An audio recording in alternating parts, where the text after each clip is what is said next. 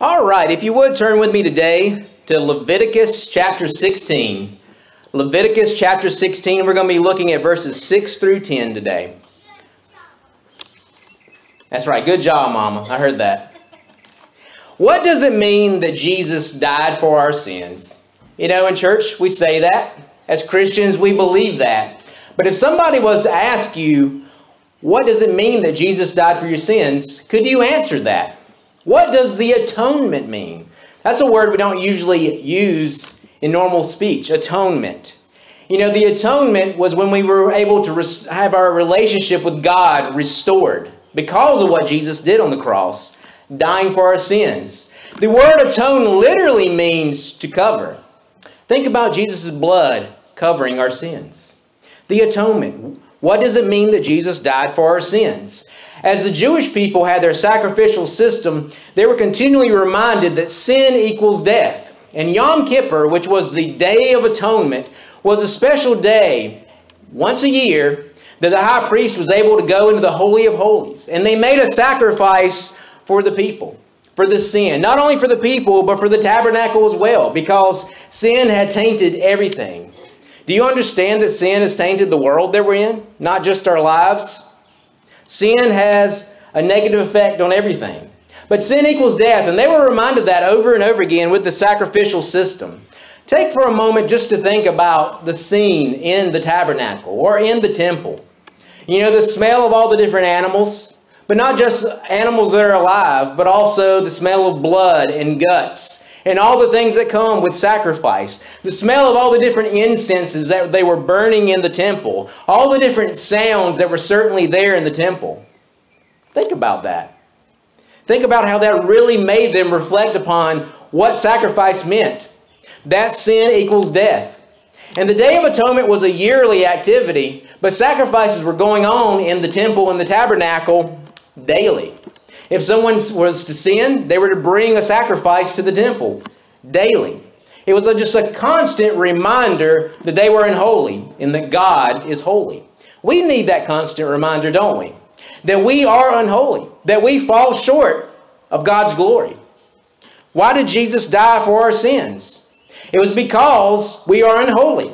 It was because he did something that we could not do, living the perfect life, completely fulfilling the law, and died in our place. Think about a car wreck. Think about if you were driving a car and you caused a car wreck. But here's the thing when you caused that car wreck, when you crushed that other person's car, you crushed your car, and now you have injured yourself very badly in this wreck, but you don't have any insurance at all. There's no way you're going to be able to pay your hospital bills. There's no way you're going to be able to pay for that other car or your car. But then the victim, the person that's completely innocent in this scene comes up and he says, I'm going to pay for your hospital bill. I'm going to pay for your car to be fixed. I'm going to pay for my car to be fixed. You see, the victim here didn't ignore the fact that there was injury because of the wreck. The victim stepped up and paid for the situation. And that's exactly what it's like with Jesus. You see, we are that one that person driving the car without insurance. We're causing wrecks in our life because of sin. We've even impacted God because of our sin. He's that innocent victim there. The innocent victim. And there's no way we could pay for our recovery. There's no way we could pay to fix all the things that we've messed up because of sin. But that victim, God steps up and says, I'm going to pay it all. See, He didn't ignore our sin. He said, I'm going to pay it all. In His holiness, He could not ignore the fact that we had sin in our lives. So God the Son came in the flesh and took the punishment for us. He did not ignore sin. He paid for it fully. That's what it means for Jesus to die for our sins. That's what it means to atone for us. That He has restored that relationship and that our sin is covered because what Jesus has done. Look here in Leviticus, Leviticus 16, 6 through 10. This is talking about the Day of Atonement. It says, Aaron shall offer the bull as a sin offering, which is for himself, and make atonement for himself and for his house. He shall take the two goats and present them before the Lord at the door of the tabernacle meeting. Then Aaron shall cast lots for the two goats, one lot for the Lord, and the other lot for the scapegoat. And Aaron shall bring the goat on which the Lord's lot fell and offer it as a sin offering. But the goat on which the lot fell to be the scapegoat shall be presented alive before the Lord to make atonement upon it and to let it go as the scapegoat into the wilderness. Lord, I thank you for this day being able to gather together and look at your word. I pray that you help us to have that constant reminder the fact that we are unworthy, we are unholy, but you have done it all for us. You have drawn us to you. You have restored the relationship by dying on the cross for our sins. And I pray as we look at your word today, understand how full, how full and accomplished and done the sacrifice is. That we don't make sacrifices daily, yearly, that it was once and done, the better sacrifice. I thank you that Jesus is that high priest, that he is that prophet, that he is that king, that he is that sacrifice for us. Guide us as we look at your word today. In Jesus' name I pray. Amen. So the high priest here was Aaron. And if you remember, Aaron was Moses' brother. And Aaron, just like us, was not a perfect person. Aaron was the first high priest. And this is interesting too. Think about what Aaron did when the Israelites first came out of Egypt. When Moses was up on the mountain, they started griping and complaining. Isn't that just like people? We get together and we gripe and complain. And Aaron said, Give me your gold, and I'll make a golden calf for you. And they gave him his gold, and he shaped the golden calf. Then when Moses came down and saw what had happened, he said, What have you done? And Aaron said, Well, I just stuck this, this gold in the oven, and out came a calf. He didn't want to admit it. But this is the man that's serving as the high priest. You see how God uses all of us. Even in our shortcomings, God uses us. But see, this high priest, he couldn't just go and do the service automatically. He had to be cleansed. He had to have a sacrifice even for himself before he could make a sacrifice for the people. That's why the high priest had to have this bull to sacrifice first. So the high priest had to go through a ritual of cleansing, a bath, changing his garments into a special linen garment. So the high priest was not sinless. The high priest had to have his sins forgiven as well. So the first sacrifice was this bull that he had to bring. This bull had to die in his place. And you see, Jesus Christ, he not only is our sacrifice, but he also is our high priest. But unlike Aaron, Jesus was sinless.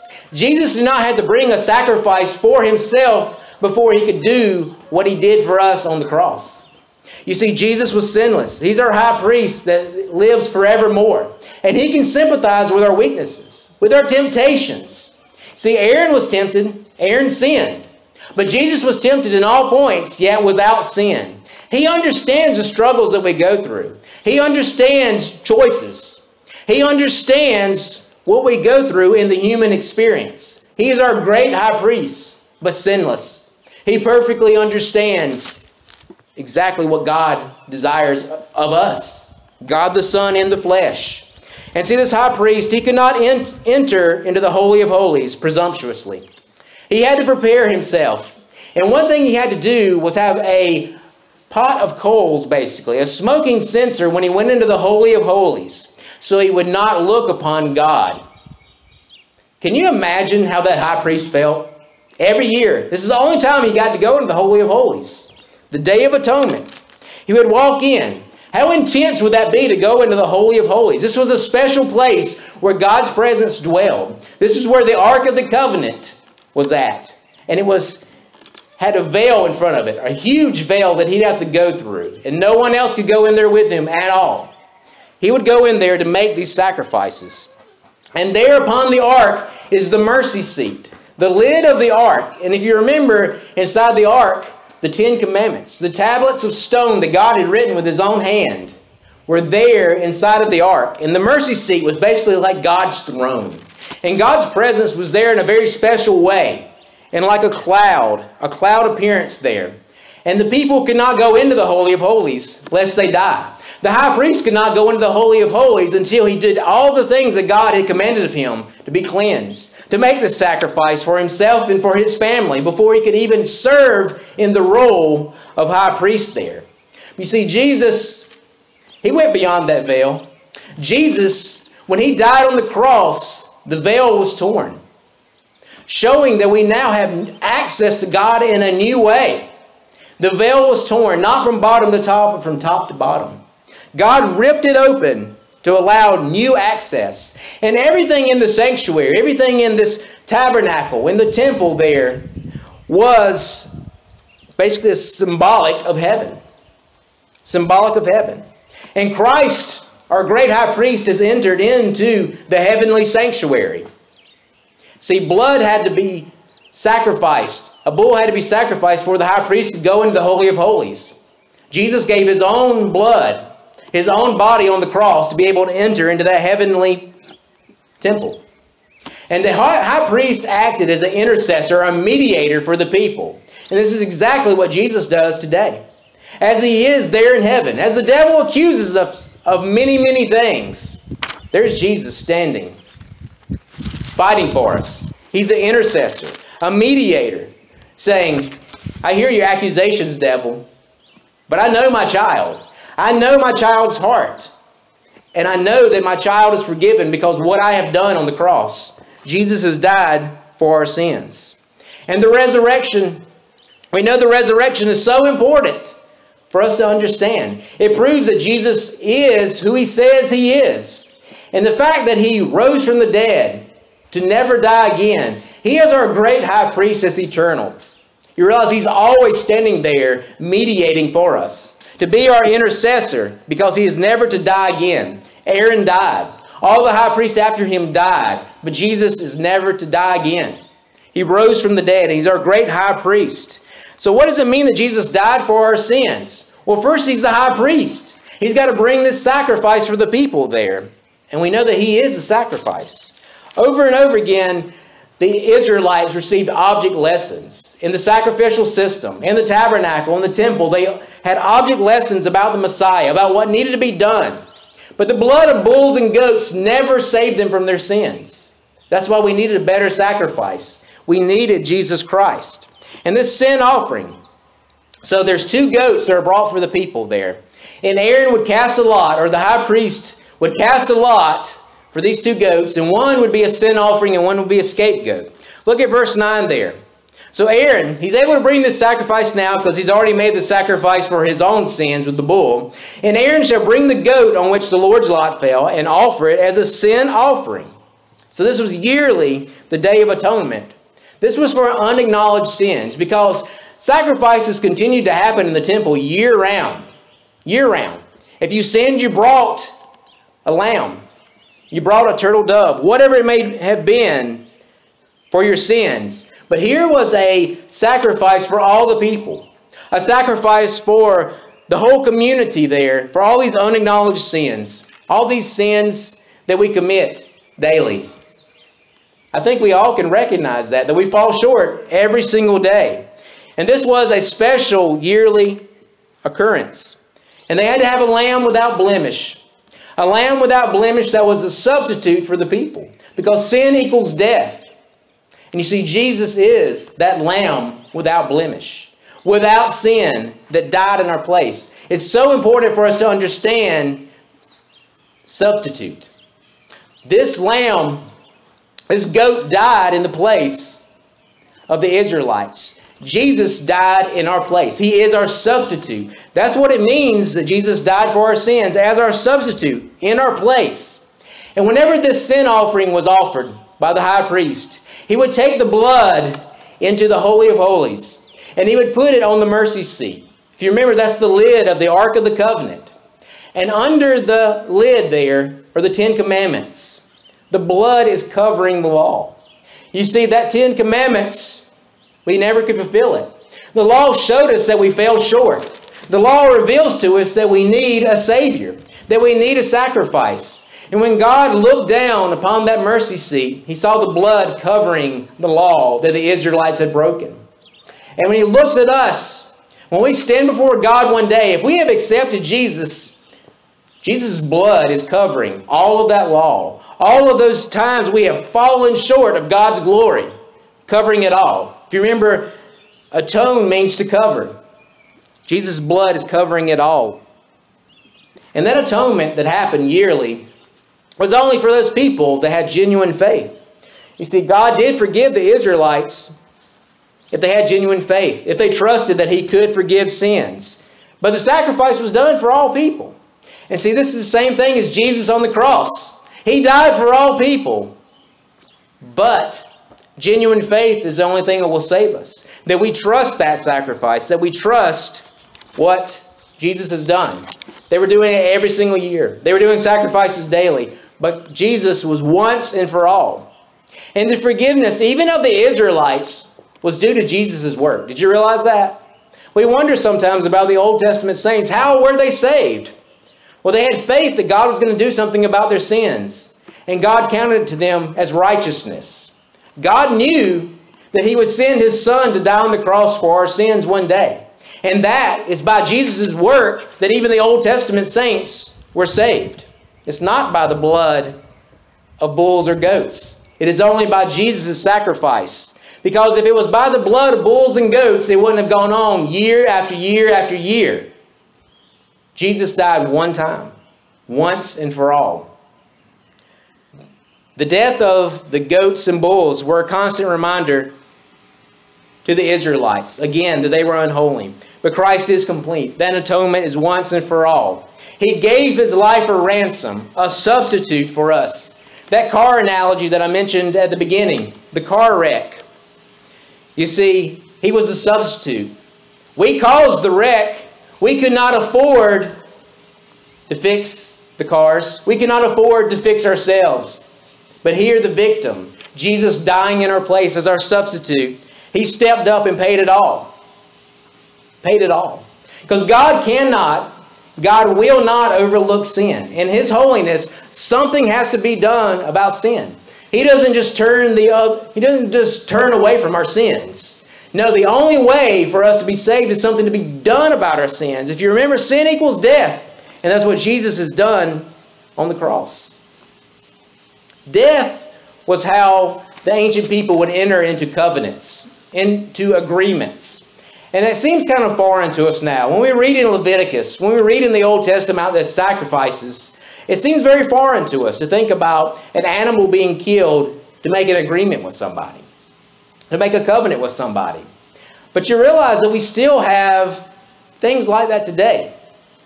Another word for covenant is testament. You know, we have the Old Testament and the New Testament. The Old Agreement, the New Agreement, the New Covenant, and the Old Covenant. And today, people have their last will and testament, their last will and agreement. And when do you receive that inheritance? It's that when that person dies. That's when that agreement, that testament is ratified, is at the death, is when you receive the inheritance. And that's the same way for Jesus. For us to have this new covenant, there had to be death. For us to be able to inherit Jesus' righteousness, there had to be death. And that's what the cross did for us. That's why Jesus died on the cross for our sins. Now we are children of God because what he has done. He has done something that we could not do for ourselves. And then the scapegoat. This is a word that we may use sometimes, scapegoat. But we don't often talk about it in the Bible. Verse 10, But the goat on which the lot fell to be the scapegoat shall be presented alive before the Lord to make atonement upon it and to let it go as a scapegoat into the wilderness. So there were two goats here, and they were both symbolic. So one was a sin offering, showing that sin equals death. The blood covered the broken law. And now we have the scapegoat that's alive. This goat, they would lay their hands upon it and confess the sins of the people on this goat. They were basically transferring their guilt for the sins, and then they would send it outside of the camp. This is what the scapegoat was doing, was taking their sins, far, far away from them. And we don't know from just reading scripture here exactly what happened to the scapegoat, other than they released it into the wilderness. But other Jewish writings said they would often take this scapegoat to a cliff and push him off backwards. The scapegoat was never coming back. And he was outside of the camp to take the sins far, far away. Outside the camp was very important because they did not want to defile the camp. They did not want to defile the tabernacle. So they took the scapegoat with the sins outside of the camp. And those offerings, after the sin offering was killed, it was burnt outside of the camp. Remove the defilement from the camp. And this is what happened with Jesus. He did not die inside of the temple. He did not die inside of Jerusalem, but outside of the camp on the cross, Golgotha. Symbolic in so many ways when we look through Leviticus here. But that scapegoat was blamed. He was punished for the sins of the people. They transferred their guilt and sent that scapegoat far, far away. And that's what we need to remember about what Jesus has done for us. He is like that scapegoat. He's taken our sins far, far away, as far as the east is from the west. How far is that? We can't even calculate that. As far as the east is from the west. But us as Christians, we like to hold on to things, don't we? We like to continue to beat ourselves up about something that God has done perfectly, completely. In Christ, we need to stop with this guilt because Jesus has done it all for us. We cannot save ourselves at all. Jesus is the only way. He is that scapegoat, taking our sins away. He is that sin sacrifice. You see, He is the high priest. He had to bring the sacrifice, but he didn't have to make a sacrifice for himself because he was sinless. But that high priest brought a sacrifice for the people. And Jesus' sacrifice was himself on the cross. But he was sinless. We transferred our guilt to him. And he died on the cross for our sins and rose from the dead. This is how we know that that sacrifice was fully accepted. Now his blood covers all our sins. He is an eternal high priest, alive forevermore to make intercession, to be a mediator for us. And that sacrifice is once and complete. Don't try to crucify Jesus over and over again. When you come to him, when you trust him for salvation, it is done. It is done. There's nothing you can do to work your way into heaven. What Jesus did on the cross was completely sufficient. God's wrath was poured out upon Jesus because of our sins. Fully, fully satisfied. So salvation is one and done. The atonement. Why did Jesus die on the cross for our sins? It was to cover our sins. It was to restore our relationship with God once again. Going back to the car wreck analogy, this is what sin is. Sin is us driving recklessly through life, and we hit others. We destroy others' lives, and we injure ourselves. And here we are in the midst of this car wreck, and we have no way to pay. We didn't have insurance. We didn't have insurance at all. But Jesus stepped up, the victim. You see, God didn't just send a random person to die on the cross for our sins. It didn't work that way. God the Son himself took the punishment that we deserve on the cross. That's what it means that Jesus died for our sins as a substitute. As a substitute. Something that no one else could ever do. He is the King of kings and Lord of lords. I pray that you just continue to focus upon him. And if there's anyone here today that has not accepted Jesus as your Savior, realize you cannot save yourself. You don't have any insurance. You don't have any way to get into heaven without Jesus Christ. He is the only way to heaven.